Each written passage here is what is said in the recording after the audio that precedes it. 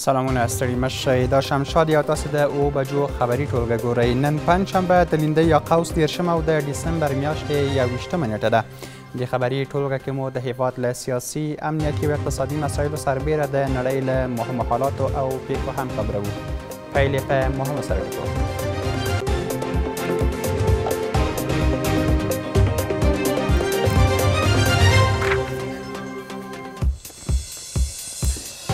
د نړیوالو اندېښنې بې ځایه بللي اسلامي امارت وایي چې په کړو ژمنو ولاړ دی او نړۍ هم د هیواد په کورنیو چارو کې مداخله نه کوي دلته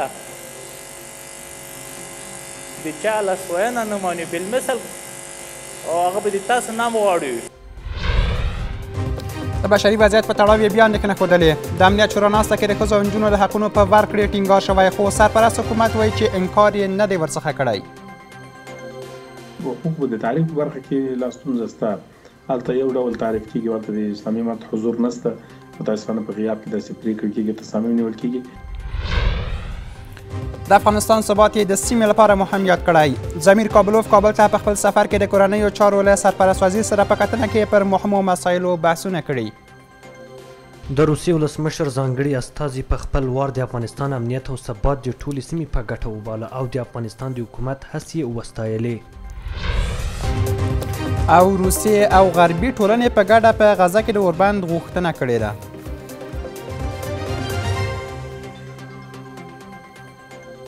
بشپړو خبرونو ته ډېر ښه راغلاست د کورنیو چارو وزارت سرپرست وایي چې حکومت له نړیوالې ټولنې سره پر کړو ژمن ولاړ دی سراج الدین حقاني د سیمې او نړۍ هیوادونو هغه اندېښنې بې ځایه بولي چې په وینا یې وخت ناوخت د دوی پر ضد د افغان خاورې څخه د کارېدنې په برخه کې مطرح کېږي.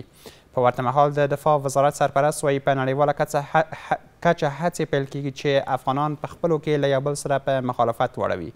چارواکو دغه څرګندونې د لویې جرګې په تالار کې د دوه نیم زره محصلینو فراغت غونډه کې وکړې او پر نړیوالو یې هم غږ وکړ چې د افغانستان په داخلي چارو کې دې مداخله نه کوي. په داسې حال کې چې په سیمه ییزه او نړیواله کچه وخت نا وخت له افغانستان څخه د ترهګرۍ د پراخېدا او د نړیوالې ټولنې پر وړاندې د افغان خاورې د کارېدنې دعوې مطرح کیږي خو د کورنیو چارو وزارت سرپرست د سیمې او نړیوالې ټولنې دغه ډول اندېښنې بې ځایه بولي سراج الدین حقاني وایي افغانستان دا مهال د هیڅ هېواد لپاره ګواښ نه دی او په دې برخه کې ټولو هغو ژمنو ته متعهد دی چې په وینا یې افغان حکومت له امریکا سره د دوحې هوکړه کې او له نړۍ سره په نړیوالو سټیجونو کې کړي. د کورنیو چارو سرپرست دغه راز پر نړیوالې ټولنې غږ وکړ چې د افغانستان استقلالیت ته درناوی وکړي او په داخلي چارو کې لاسوهنه ونه کړي. دوی دغه ته مجبور شول، دغه ته مجبور شول چې موږ سره یې د امریکایانو د پوځیانو د وتلو په تعهداتو باندې، په یغو شرایطو باندې د قطر د مذاکراتو په نتیجه کې خبرې وشوې او سره هغه تعهدات وشول چې د موږ مملکت چې کوم ده دا به چا لپاره تهدید نه وي موږ به آینده دلته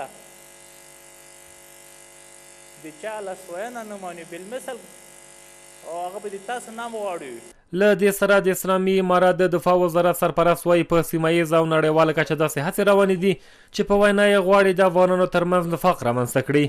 مولوي محمد یعقوب مجاهد د افغانانو ترمنځ پر یووالي ټینګار وکړ او له ټولو خواوو یې وغوښتل چې د سیاسي مخالفت او تقابل پر ځای باید خپله انرژي د هېواد په ابادۍ کې وکاروي. چې یو بل به منو، یو د بل سره به مینه او محبت کوو. یو د بل قدر به کوو او هره ټولنه، هر قشر دا به د دې ټول هېواد لپاره لازم او ضروري بولو او د خدماتو ستاینه به یې کوو، یو بل ته به مشوره ورکوو، بیا کولای شو چې پرمختګ وکړو. له دې سره د لوړو زده کړو وزارت سرپرست ندا محمد ندیم په ګڼو برخو کې د نړیوالې ټولنې غوښتنو ته په اشارې وویل سرپرست حکومت هیڅ داسې سلا مشورې نه عملي کوي چې په وینا یې له اسلامي ښوونو او افغاني ارزښتونو سره په ټکر کې وي. نو موږ چې دا خپل تحصیلي نظام مخته وړو یا بل تعلیمي نظام مخته وړو یا د امن نظام مخته وړو یا د دفاع نظام مخته وړو، دا ټول نظام په دې مقید دی چې هغه څه به په نظام کې تطبیقوو چې د رب جل جلاله هدایت او حکم وي اوس که په دغه تطبیقاتو کې هغه څه د مابین ځي چې هغه د پردیو د خوا پر افغانستان باندې تپل سوي دي د افغانستان د بعضې خلکو په مزاج کې یې قرار نیولی دلته که څه شور و حرکت پیدا کیږي قدرمنو ځوانانو تاسې باید ورته متوجه یاست. یادو لوړ پوړو حکومتي چارواکو دغه څرګندونې د هغو دوه زره پنځه سوه تازه فارغ شویو زده کړالیانو د فراغت ړغونې په مراسمو کې وکړې چې تازه روان کال د کابل پوهنتون له شاوخوا اویاوو بېلابېلو برخو څخه فارغ شوي دي. د کابل پوهنتون د دوه زره او پنځه سوه محصلینو د فراغت غونډه ترسره شوه. د لویې جرګې په تالار کې دا غونډه په داسې حال کې ولمانځل شوه چې پرون د نجونو د پوهنتونونو د تړل کېدو دقیق یو کال پوره شو. په دغه غونډه کې د لوړپوړو چارواکو سربېره عالمانو، استادانو او محصلینو هم ګډون کړی و. د لویې جرګې په تالار کې د محصلینو فراغت غونډه تر سره شوه. یاده غونډه کې د محصلینو په ګډون لوړ پوړو چارواکو، عالمانو او کورنیو ګډون کړی و چې په بېلابېلو برخو کې محصلینو ته د فراغت سندونه ورکړل شول. خو یادې غونډې کې د نجونو د بندو ښوونځیو او د پوهنتونونو د پرانیستلو په باب څه ونه ویل شول. ورته مهال سیاسي شنونکي وايي، د شپږم ټولګۍ څخه پورته د ښونځیو او پوهنتونونو تړل پاته کېدل کومه قانوني ستونزه نه ده بلکې سیاسي مسله ده او که چېرې حل نه شي د ملت او حکومت ترمنځ به د واټن سبب شي. متاسفانه دا یو سیاسي مسله ده او چارواکي په دې اکمه صراحت نه وضاحت نه ورکوي چې سريعاً ملت ته څۀ ولې دا دروازې تړل شوي دي دا داسې یوه مسله ګونګه ده او شک و شبهې پیدا کوي او فاصله ایجادوي د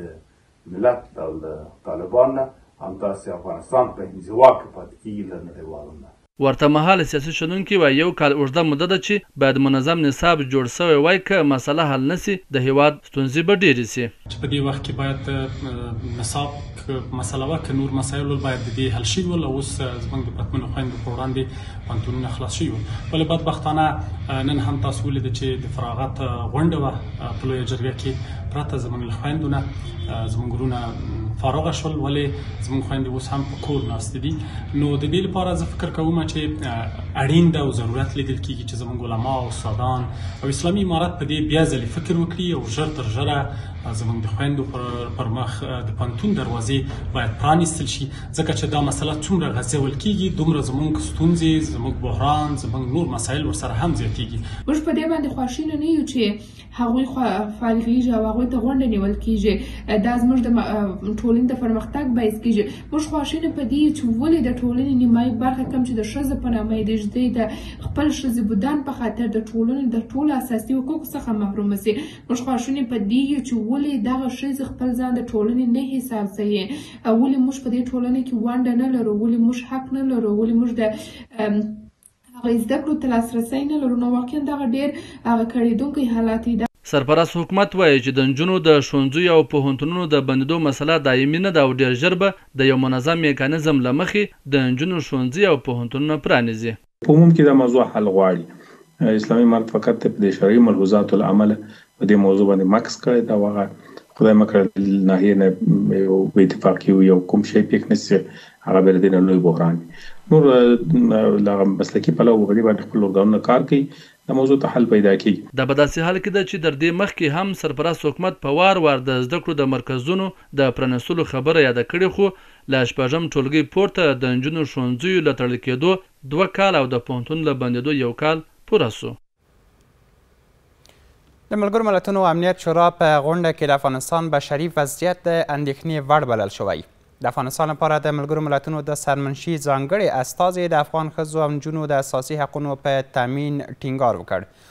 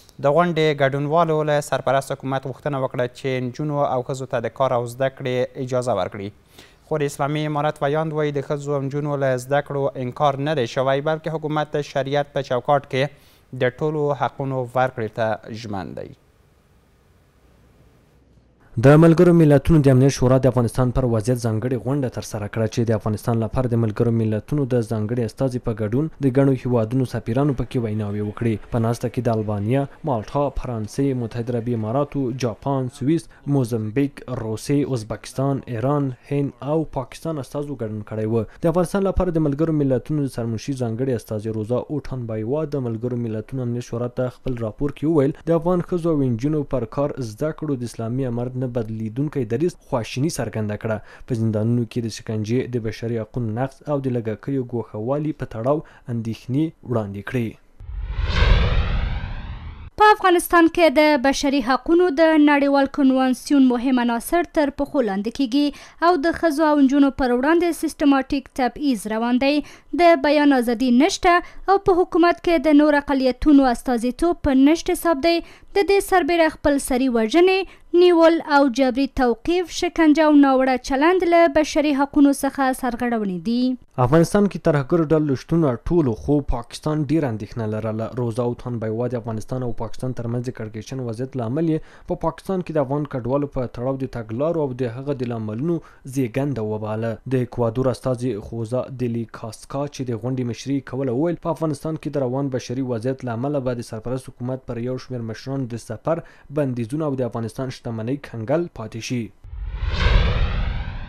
طالبانو د بشري حقونو په مسله کې نه پرمختګ د اوسني لري والي اصلي لامل دی. د نړیوالو معیارونو منل او ساتل یې د ملګرو ملتونو په میثاقونو کې راغلي چې افغانستان هم منلي دي. په ملګرو ملتونو کې د څوکۍ ترلاسه کولو لپاره پر دي شرطونو جوړجاړی شونی نه دی. د ملګرو ملتونو د استازي په توګه مې تل په افغانستان کې چارواکو سره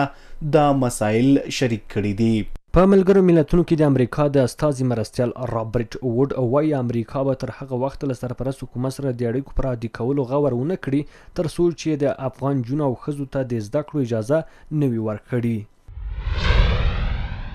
امریکا به تر هغه وخته له طالبانو سره د اړیکو پر عادي کولو غور ونه کړي تر څو چې طالبان د افغانستان په نړیوالو مکلفیتونو غور ونه کړي او افغان مرمونو او انجونو ته په واقعي معنی ښوونې او روزنې ته بشپړ لاسرسی او کار او ټولنیز ژوند ته لاسرسی برابر نه کړي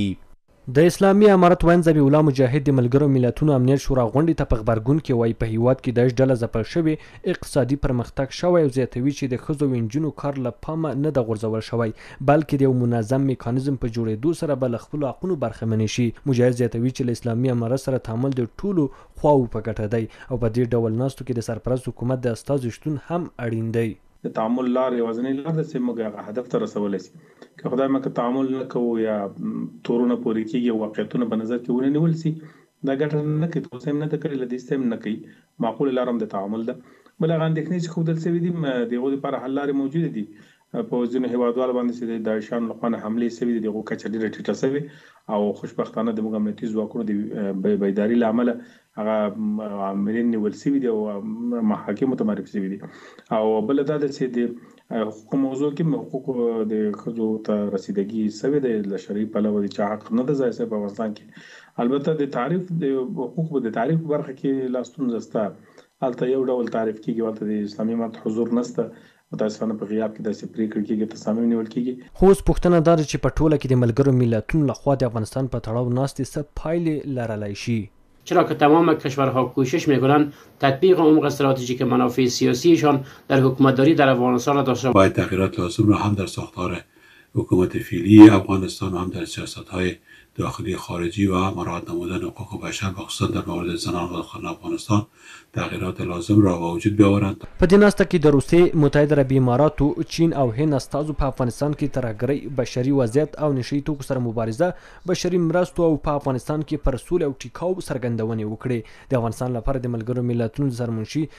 ځانګړې استازې روزا او تان بایوا له پاکستانه د شړل شوو افغان کډوالو پر وضعیت او اقلیمي بدلون پر اغېزو د خواشینۍ څرګندولو ترڅنګ د اسلامي امارت ځینو مثبتو کړنو ته په هغه کې امنیت او له نشهيي توکو سره مبارزه هم راځي ستاینه وکړه. روزا او تان بایوا له سرپرست حکومت سره د خبرو اترو پر دوام ټینګار وکړ او ټولو ته یې زیاته کړه چې خبرې اترې د مشروعیت ورکولو په مانا نه دي.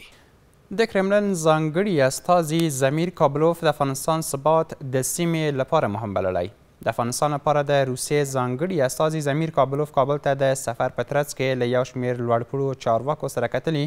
او پر مهمو موضوعاتو یې هم خبرې کړې دي. کابلوف پرون کابل ته په سفر راغلی او تر اوسه یې د بهرنیو او کورنیو چارو وزارتونو سرپرستانو سره کتلي دي. له نړیوالو چارو کارپوهان دا ډول لیدنې د دواړو هیوادونو په ګټه ګڼي او له هیوادونو سره پر متوازن سیاست ټینګار کوي. د افغانستان لپاره د روسیې ځانګړي استازي ضمیر کابلوف کابل ته د سفر په ترڅ کې د افغانستان د بهرنیو چارو د سرپرست وزیر امیرخان متقي او د کورنیو چارو له سرپرست وزیر سراج الدین حقاني سره جلا لیدنې کړې دي. په دې ناستو کې پر دوه اړخیزو اړیکو، سوداګرۍ ودې، سیمه ییز او نړیوالو میکانیزمو کې د افغان حکومت په حضور ټینګار شوی دی. ضمیر کابلوف د کورنیو چارو له سرپرست وزیر سراج الدین حقاني سره په لیدنه کې ویلي، هېواد یې غواړي د افغانستان او روسیې ترمنځ دوه اړخیزه سوداګري زیاته کړي، ورته مهال د کورنیو چارو وزارت له خوا په اکسپاڼه کې لیکل شوي چې کابلوف له سرپرست وزیر سره لیدنه کې د افغانستان او روسیې اړیکې ښې بللي او د افغانستان ثبات او امنیت یې د سیمې امنیت لپاره مهم یاد کړ. د روسیې ولسمشر ځانګړي استازي په خپل وار د افغانستان امنیت او ثبات د ټولې سیمې په ګټه وباله او د افغانستان د حکومت هڅې یې وستایلې. د افغانستان لپاره د کریملین ځانګړی استازی ضمیر کابلوف داسې مهال کابل ته په رسمي سفر راغلی چې پرون د ملګرو ملتونو امنیت شورا د افغانستان په تړاو کلنۍ ناسته رابللې وه. کابلوف افغان چارواکو سره لیدنه کې ډاډ ورکړی چې مسکو به خپلو هڅو ته دوام ورکړي ترڅو نړیواله ټولنه د افغانستان سرپرست حکومت سره تعامل وکړي. روسیه د افغانستان د حکومت دریځونو ته درناوی لري او ټینګار کوي چې ملګري ملتونه باید د افغان حکومت سره په تفاهم اقدامات وکړي. کابل ته د روسیې ځانګړي استازي د سفر په تړاو د تحلیل کوونکو نظرونه ویشلي دي. ځینې په دې باور دي چې دغه سفر امریکا ته د پاکستاني پوځ پلاوي له سفر وروسته ترسره شو او په خبره یې د نړۍ زبرځواک هیوادونه خپلې سیالۍ په نورو هیوادونو کې عملي کوي خو دوی ټینګار لري چې اسلامي امارت دې د هیوادونو لپاره متوازن سیاست ولري تر څو دا هیواد بیا د رقابتونو ډګر ونه ګرځي. دا چې په دې وروستیو کې یو ځل بیا افغانستان د لویو قدرتونو د فکرمندۍ سبب ګرځیدلی دی نو د پاکستان په لحن کې تغیر او د لوی درستیزي تګ واشنګټن ته بیا د امریکایي دیپلوماتانو راتګ اسلام اباد ته همداسې د ملګرو ملتو استازې روزا اوتنبایوا د پاکستاني چارواکو سره لیدل نو په دې کې بیا هم روسان بې پاري نه شوه پاتې هغوی هم د امیر خان متقي سره د زمیر کابلوف ولیدل چې دا په دې معنی ده چې دواړه هیوادونه غواړي چې په ډیرو اړخونو کې ځنونه سره نږدې کړي خو افغانستان ته بیا هم په کار ده وریادوو یې چې د لویو قدرتونو باید توازون وساتل شي او که نه هغوی بیا دغسې څه به وکړي چې یو ځلې به بیا افغانستان په کنډواله بدل کړي لکه په تېر کې چې کړی و. کارپوهان داسې ناستې د افغانستان د اقتصاد، سوداګرۍ ودې او د ګډو ګټو لپاره مهمې بولي. دا په داسې حال کې ده چې څه باندې دوه کاله کېږي اسلامي امارت واک ته رسېدلی خو تر اوسه هیڅ هیواد په رسمیت نه دی پیژندلی، که څه هم اسلامي امارت ویلي چې د نړۍ زیات شمیر هیوادونه ورسره تعامل لري او دا نا اعلان شوی رسمي رسمیت بولي. د افغانستان لپاره د امریکا سفارت له افغان خبریالانو او د بشري حقونو له ملاتړو څخه خپل پیوستون اعلان کړی. یاد سفارت د بشر حقونو د پیوستون نړیوالې ورځې په مناسبت چې پرون د ډیسمبر میاشتې په شلمه نیټه ورڅخه نمانځنه وشوه ویلي چې دوی په افغانستان کې د افغان خبریالانو ترڅنګ ولاړ دي. بلخوا د خبریالانو د خوندیتوب کمیټې مسؤلین وایي چې نړیوال دې له افغان خبریالانو څخه یوازې په الفاظو کې نه بلکې په عملي بڼه ملاتړ وکړي. بلورته اسلامي امارت هم وایي چې دوی د اسلامي او دیني ارزښتونو په پام کې نیولو سره د رسنیو ازادیو ته ژمن پاتې کیږي. د افغانستان لپاره د امریکا سفارت له افغان خبریالانو او د بشري حقونو له مدافعینو څخه خپل پیوستون اعلان کړی. د امریکا سفارت په داسې حال کې له خبریالانو او د بشري حقونو له مدافعینو خپل ملاتړ اعلانوي چې د خبریالانو او بشري حقونو بېلابېل سازمانونه په هېواد کې د خبریالانو او د بشري حقونو د فعالانو فعالیتونه تر بل هر وخت سخت او اغېزمن یاد کړی خو په ځینو پېښو یې اندېښنې شریکې کړې دي. د بشري پیوستون د نړیوالې ورځې په مناسبت راځئ چې د هغو افغان ژورنالستانو سره چې د افغانستان په اړه د حقیقت ویلو لپاره خپل ژوند په خطر کې اچوي یو ځای ودرېږو او همدارنګه د بشري حقونو مدافعانو سره یو ځای شئ چې د ټولو افغانانو د عزت او برابرۍ کرامت د ژوند د حق لپاره مبارزه کوي. د امریکا سفارت په داسې حال کې له افغان خبریالانو او د بشري حقونو له فعالانو څخه خپل ملاتړ اعلانوي چې د بشري حقونو او خبریالانو د ملاتړ بېلابېلو سازمانونو د خبریالانو په وړاندې تاوتریخوالي له شتون څخه اندېښنه څرګند کړې. د خبریالانو د خوندیتوب کمېټه هم دې ته په پام سره وايي چې له افغان خبریالانو د نړیوالو ملاتړ باید یوازې تر اعلامیه او شعار محدود نه وي، بلکې په عمل او اساسي ډول دې ملاتړ وکړي. د دې کمېټې مشر زیاتوي چې ګڼې رسنۍ له اقتصادي اړخه له سختو ستونزو سره مخ دي او دا د نړیوالو ملاتړو بنسټونو مکلفیت دی چې له سقوط یې وژغوري. زه فکر نه کوم چې یوازې په الفاظو کې ملاتړ دې زیات اغېزناک واوسي. دوی که غواړي چې ملاتړ وکړي نو په عملي توګه دې له رسنیو او له خبریالانو ملاتړ وکړي او کومې ستونزې چې اوس رسنۍ او خبریالان ورسره مخامخ دي په ځانګړې توګه په اقتصادي برخه کې او په مالي برخه کې دې کې دې اقدام وکړي او اغېزناک دې ځانونه ثابت کړي.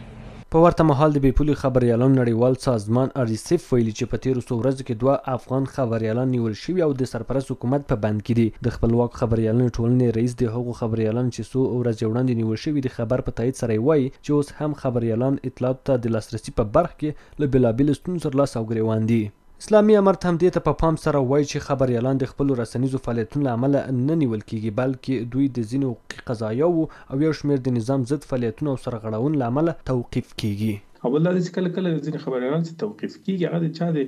اذیت او آزار په معنا نه ده، کله کله به له چا نه وضاحت غوښتل کېږي او اکثره توقیفونه چې وي، د رسنیو د کارکوونکو د دوی د رسنیز فعالیت له امله نه وي، نور وجوهات وي یا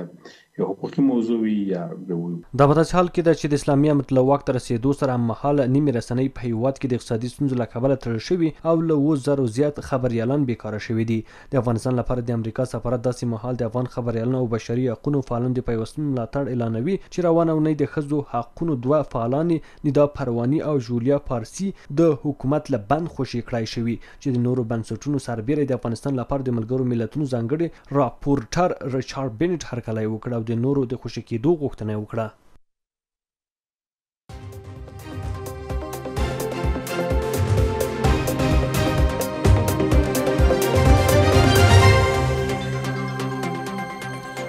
اوس هم څو اقتصادي خبرونه. د ریاست الوزرا اقتصادي مرستیال کندوز ته د خپل سفر په لړ کې د سپین زر دولتي شرکت څخه لیدنه کړې ده. ریاست الوزرا اقتصادي معاونیت وايي، ملا عبدالغني برادر اخوند کندوز ته د خپل سفر په ترڅ کې د دغه ولایت له مسؤلینو سره کتلي او مسؤلینو ته یې د چارو د ښه ترسروي په اړه لازمې سپارښتنې کړې دي. ریاست الوزرا اقتصادي مرستیال دغه سفر پر لړ کې د سپین زر دولتي شرکت څخه د لیدنې پر مهال یاد شرکت فعالیت بارزښته بللی او مسؤلینو ته یې د کارونو د لا ښه والي په موخه لازمې سپارښتنې کړې دي. یادونې وړ ده چې سپین زر شرکت د مالوچو، نباتي غوړیو، کونجاړي، د ځان او کالیو مینځلو صابون، کاغذي دستمالونو، موسمي یخ او په مختلفو اندازو د پلاستیکي بوتلونو د جوړولو په برخه کې تولیدات لري.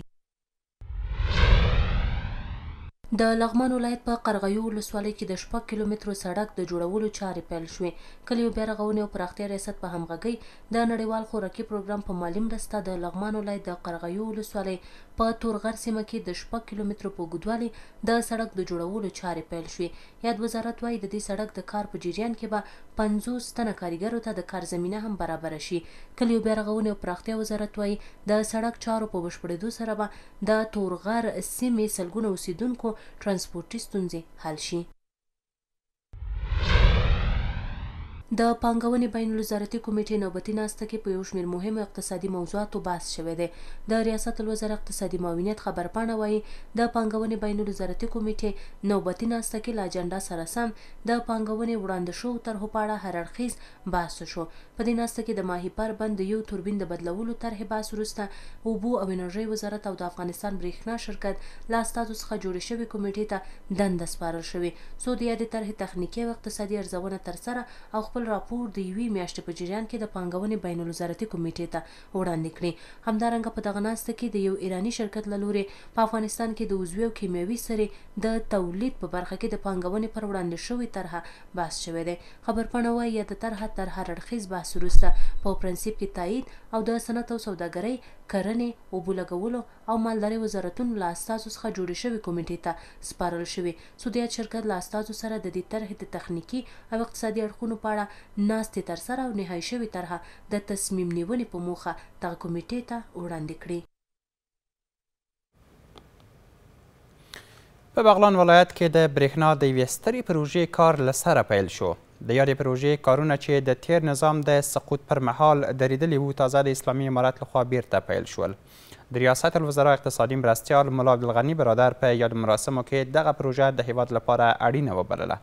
مسؤلین وایي چې د یادې پروژې په تکمیلیدو سره به زرګونه کسانو ته کاري زمینه برابره او د دې ترڅنګ به نهه ولایتونه هم له برېښنا څخه برخمن شي. د رئیس الوزرا اقتصادي مرستیال ملا عبدالغني برادر په بغلان ولایت کې د برېښنا هغه نیمګړې پروژه له سره پیل کړه کومه چې د تیر نظام پر مهال یې لومړني کارونه ترسره شوي وو خو د سقوط لا تر اوسه یې کارونه په ټپو ولاړ وو د افغانستان برېښنا شرکت عملیاتي مسؤل چې په دغه پرانیست غونډه کې ګډون کړی وو زیاته کړه چې د دغه سترې پروژې قرارداد یې دوه افغاني شرکتونو ته ورکړی دی په دوو کلونو کې به یې کارونه بشپړ شي دولس ولایتونه به تر خپل پوښښ لاندې راولي او شپږ دېرش میلیونه امریکايي ډالر لګښت به پرې راشي چې د افغانستان له ملي بودجې به ورکړل شي. موږ د دې پروژې نه چې کومې ګټې لاسته راوړو او کوم اهمیت زموږ د انرژۍ په سکتور کې لري هغه دا دی چې یو خو د برېښنا سکتور یا د برېښنا شرکت دا به وکولی شي چې د ترکمنستان هیواد څخه په ارزانه بیه باندې نسبت تاجکستان او ازبکستان ته موږ زر میګاواټه انرژي دلته را انتقال او دویمه ګټه یې دا ده چې نو د دې پروژې په تکمیلیدو به ان شاءالله چې دوه کاله کې به تکمیل شي د دې پروژې د تکمیلو نه وروسته د برښنا شرکت به وکولی شي چې شپږ میلیونه کورنیو ته په مجموع کې دا برق مهیا کړي د دې په څنګ کې به زمونږ صنعت او تجارت او همدارنګه زراعت دا به میکانیزه شي ورته مهال د اقتصادي چارو لومړي مرستیال ملا عبدالغني برادر بیا وویل اسلامي امارت ټولو برخو کې پراختیايي پروژو ته ژمن دی خو تر ټولو اولویت د برېښنا سیستم ته ورکوي ځکه پر وینا یې که برېښنا په هېواد کې موجوده وي ګڼې ستونزې ورسره کابو کېدای شي. کاران وروڼو څخه مو هیله دا ده چې په اخلاص باندې یې هر سړی و خپل مسولیت ته متوجه شي او جدي کوشش په دې کې وکړو چې د خپل ملت د دې مظلوم او د دې غریب او د دې فقیر ولس لپاره هغه څه برابر کړو چې د بل ملک د لاس په لاس نشي چې مثلا د فقر لاس مو نیولی او کوشش وکړو چې پر خپل ځان باندې خودکفا شو خپل ملک مو خپله پر خپل ځان باندې خودکفا شي د اوبو او برښنا وزیر هم خلکو ته ډاډ ورکړ چې په ټول توان کار کوي ترڅو هر کور او کلي ته برښنا ورسوي خو له خلکو یې غوښتنه وکړه چې له حوصلې کار واخلي. کله چې افتتاح کوو یو له دشت الوانه تر شبرغانه پورې او بل د دې دشت الوان تر ارغندۍ دښتې پورې ده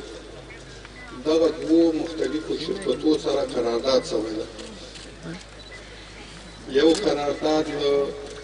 افغان انویب شرکت سره شوی ده او بل قرارداد له اوفي بهران شرکت سره شوی ده هیوادوال بیا د دغه ملي پروژې په پرانیست غونډه خوښ دي خو له مسولین غواړي چې د هیواد دننه خپلې اوبه مهار او برېښنایي بندونه پرې جوړ کړي ترڅو د نورو له احتیاج خلاص شي خو د دې نه مو دا غوښتنه ده چې دغه برق صنعتي فابریکو ته ورکړي ترڅو ګټه عموما ټول افغانستان ته ورسیږي او بل باید امارت د کونړ سیند ته ډېر توجه وکړي دا نننۍ غونډه چې کومه دلته سوې ده خدای دې همدغه شیرو دې دې هیواد دې ترقۍ کې خدای دې دا فکر دغه موږ مشرانو ته دا ورکړي چې خپل سیندونه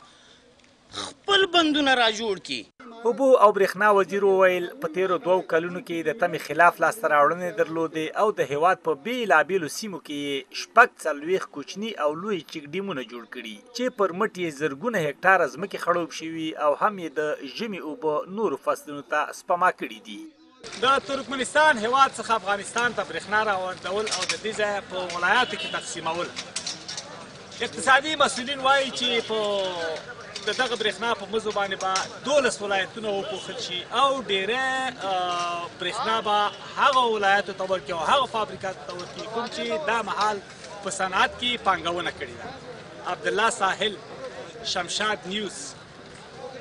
بغلان الوان دخل د تورخم په عمري کمپ کې د راستنېدونکو کډوالو د هوساینې په موخه ځینې رغنیزې چارې پیل شوې د دغه کمپ خدماتي مسؤلین وایي د تازه راستنه شوو کډوالو د ښه خوندیتوب لپاره یې د کمپ دننه ځینې رغنیزې چارې پیل کړي هغوی زیاتوي چې هره ورځ په لسګونه افغان یې کورنۍ د تورخم له لارې هېواد ته راوړي او په پنډغالي کې د لومړنیو مرستو اخیستو وروسته خپلو سیمو ته استول کېږي. د ننګرهار په عمري کمپ کې له پاکستانه راستنېدونکو کډوالو د لا اسانتیاوو په موخه بېلابېلې رغنیزې چارې پیل او دوام لري. د دغه کمپ د خدماتو کمېټې مسؤلان وایي، د راستنو شوو کډوالو د ساتنې لپاره له ټول کمپ څخه د جال او اغزن تار د چاپېرېدو چارې هم بشپړېدو ته نږدې شوې دي. موږ کومې خېمې چې پر نظم ودرولې اوس، مخکې خو ګډې وډې ولاړې وې، اوس ټولې الحمد پر نظم ودرېدلې، بلاکونه معلوم شول، شپږ اووه بلاکه اوس پر نظم درېدلي دي او کوم اواري چې سرکونه دي دا ټول اوار شوي دي، داسې یو کم کار یې پاتې دی د هغو دم، هغه به ان شاءالله په داسې یو لږ ورځو کې پای ته ورسېږي. د دې پنډغالي د خدماتو کمېټې مسؤلینو په وینا د تازه راستنېدونکو کډوالو ته په روغتیايي او نورو برخو کې د خدماتو ترڅنګ د کمپلو په ګډون ژمنۍ البسه هم ویشي او تازه راستنه شوې کورنۍ د دوه ورځنۍ میشتېدا وروسته خپلو سیمو ته لیږدوي. ځینې داسې کورنۍ وي مخکې خو هغه چې دی بیا موږ ولایتي کم کونډې چې دي هغې ته خپل خپل ولایتونو ته هغې ته مې انتقال کړل د دې ځای نه لاړل اوس هم شته یوه اندازه دغه مشکل شته دی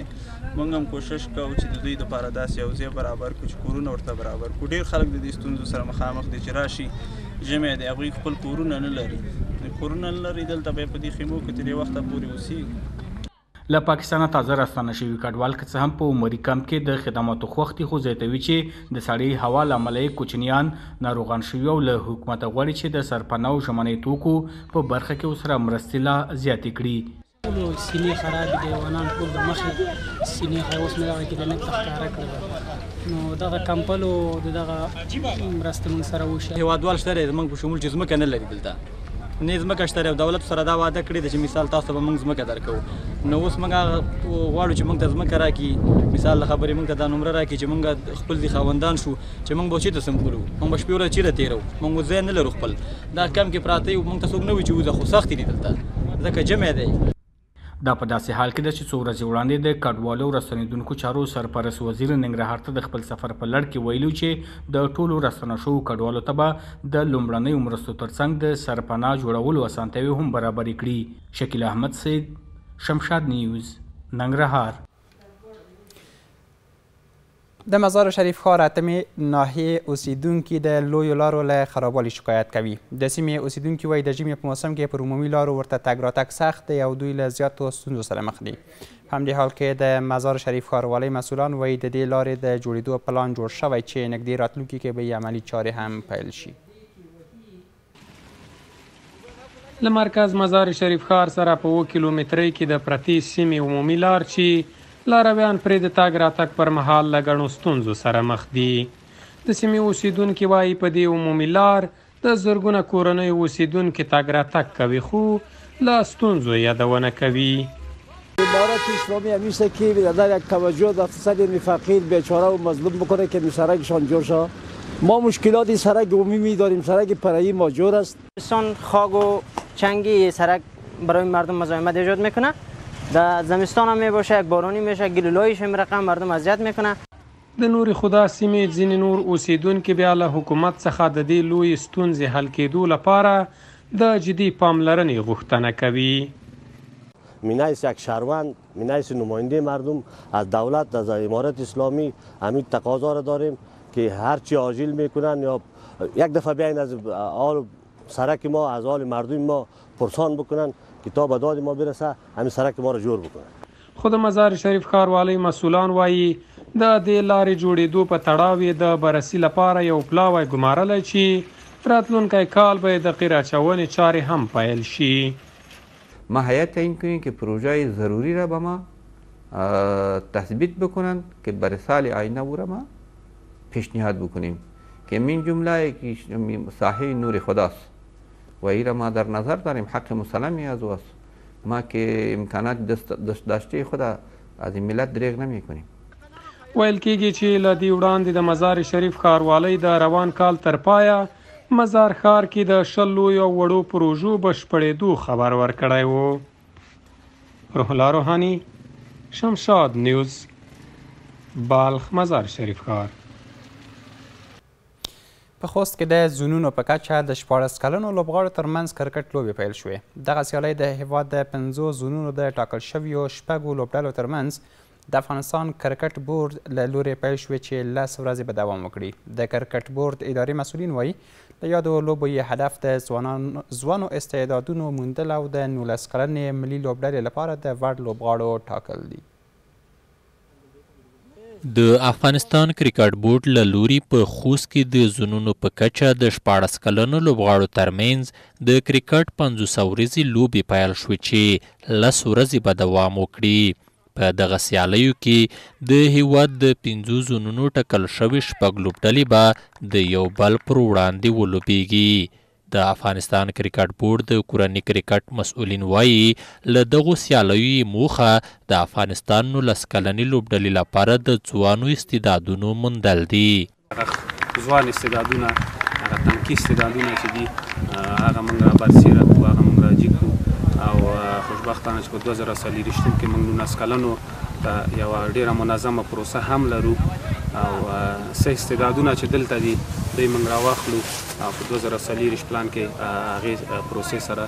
یو ځای کړو. اخوا په دغه سیالیو کې لوبېدونکي لوبغاړي خوښ دي چې په دا ډول لوبو کې برخه لري. دوی وايي، دا به ورته زمینه برابره کړي څو د هېواد په نولس کلنه لوبډله کې د لوبېدو چانس ترلاسه کړي،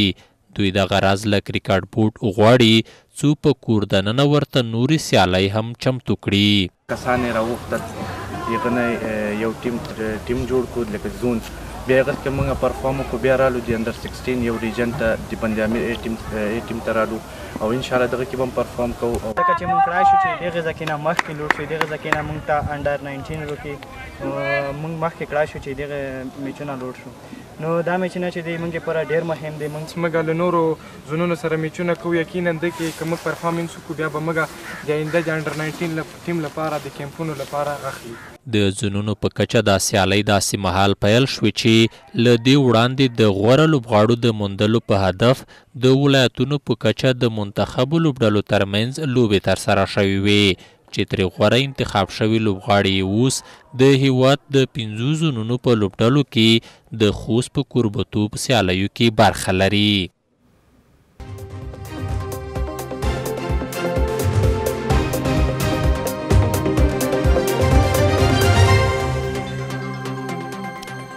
بیا هم ډیر ښه راغلاست اوس هم څو بهرني خبرونه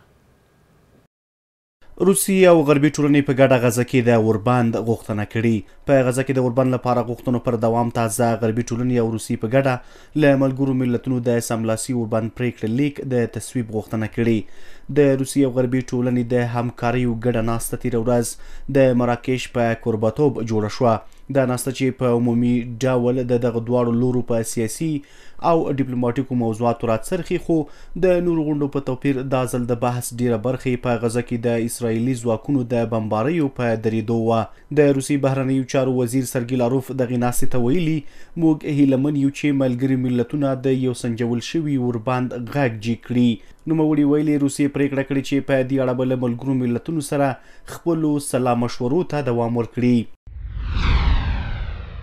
چمن کې بلوچانو د اسلام اباد په لور لاریون پیل کړی. سلګونه بلوچانو د خپل نسل وژنې د تګلارو خلاف د اسلام اباد په لور لاریون پیل کړی دی. بلوڅ حق غوښتونکي وايي، د لاریون پر مهال د امنیتي ځواکونو لوري له بد چلند سره هم مخ شوي دي. دا لاریون چې شمېر یې زرګونه کسانو ته رسېږي، ډېری برخه یې د ډي جي خان او ډېری اسماعیل خان سیمو اوسېدونکي دي. له یاد اعتراضیه لاریون سره په لاره کې د پښتون ژغورنې غورځنګ ځینې مشران او خواخوږي هم یوځای شوي دي. دا خوځښت د تېرو پنځه ویشت ورځو راهیسې په بلوچستان کې د بلوڅانو د تری تم کېدو خلاف پیل شوی دی. دوی وايي، ګڼ داسې کسانو کورنۍ په دې لاریونونو کې ګډون لري چې د پاکستان حکومت د غلطو تګلارو له امله وژل شوي او یا هم ندرکه دي. د بلوڅانو په دغه لریون کې د ښځو شمیر هم د پام وړ ډیر ښکاري او په وینا یې خپلې ګیلې او غوښتنې به تر پاکستاني چارواکو ورسوي. د بلوڅانو ټولنې په یو خبرپاڼه کې خبرداری ورکړی، تر هغه وخته چې پاکستان د بلوڅانو پر وړاندې خپله تګلاره بدله نه کړي، دا اعتراضونه به دوام وکړي. د اسلام اباد پر لور د دغه لارینونو له رسیدو مخکې هلته لا له وړاندې د نا درکه شوو کسانو خپلوانو پرلت پیل کړی دی. د نا درکه شویو کسانو دا وارثان د تیرو شاوخوا شل ورځو راهیسي په اسلام اباد کې په اعتراضونو لاس پورې کړی او په پام کې ده چې نوي لاریونوال هم له دوی سره یو ځای شي. مصر ته د حماس سیاسي مشر سفر کړی د حماس سیاسي دفتر مشر اسماعیل هنیا د یو پلاوي په مشرۍ د مصر پلازمینې قاهرې ته رسیدلی دی